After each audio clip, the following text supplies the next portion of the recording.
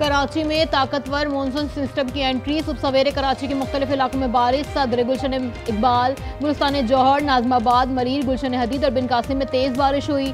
रात गए स्कीम तैंतीस। गुलशन मेमार, नॉर्थ कराची, सुरजानी में भी गरज चमक के साथ बारिश हुई।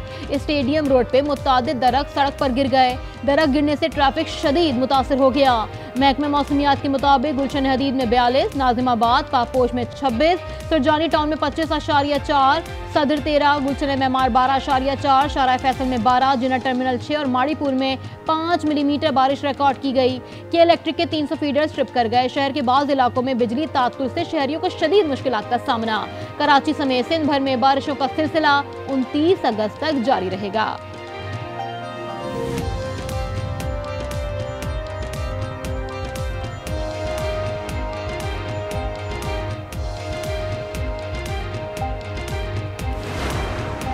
कराची के मुख्तलिफ़ इलाकों में 50 मिलीमीटर बारिश हुई। मेयर कराची का शहर के मुख्तलिफ़ इलाकों का दौरा। कहा, आज इतनी बारिश की पेशगोई नहीं थी। कराची की अहम शराहें क्लियर हैं। कुछ मकाम पर पानी जमा है, जिसे क्लियर किया जा रहा है। कराची के शहरी इंतजामिया और सूबाई हुकूमत का साथ दें।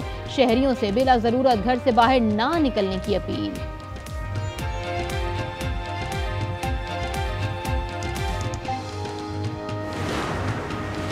वज़ीर अला खैबर पख्तूनख्वा अलियमीन गंडापुर का एक्शन। मोहम्मद आसम खान को पिशावर रीजन का सदर नामजद कर दिया।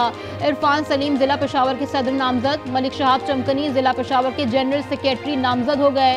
सेक्रेटरी जनरल अली असगर खान ने नोटिफिकेशन जारी कर दिया।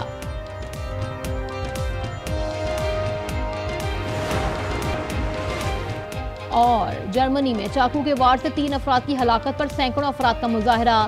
खबर एजेंसी के मुताबिक तेईस अगस्त को चाकू हमले में तीन अफराद को कत्ल, आठ को जख्मी कर दिया गया था।